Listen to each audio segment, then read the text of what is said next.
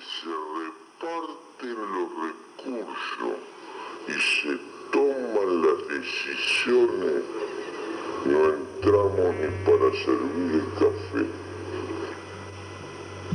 En lo más profundo de nuestro corazón existe un enorme anhelo de ayudar a que el hombre salga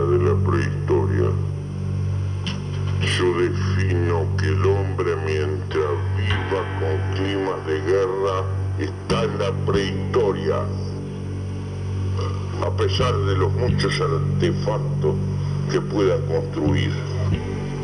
Hasta que el hombre no salga de esa prehistoria y archive la guerra como recurso cuando la política fracasa, esa es la larga marcha y el desafío que tenemos por delante. Y lo decimos con conocimiento de causa. Conocemos la soledad de la guerra.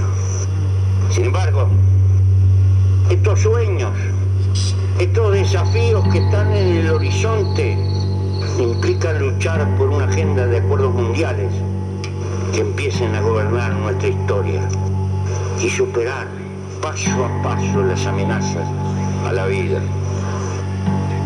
La especie como tal debería tener un gobierno para la humanidad que supere el individualismo y breve por recrear cabezas políticas que acudan al camino de la ciencia false prophet denies inspiration.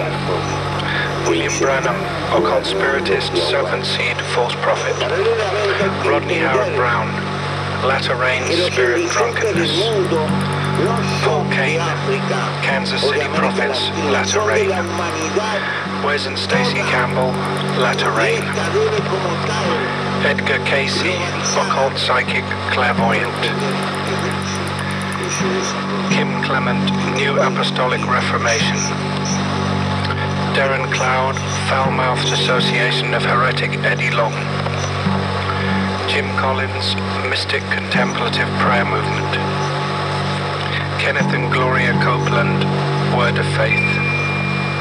Dan Corner, teaches another gospel other than grace. Charles Kraft, Latter Rain Spiritual War Network. Matthew Crouch promotes rank heresies via TBN. Senior Crouch, Lucra Lover, Sodomite, TBN founder. John Crowder, New Mystics, Sons of Thunder. Finis Jennings Dake, Bible editor, of Charismatic Latter Rain. Television channel Daystar, Charismania.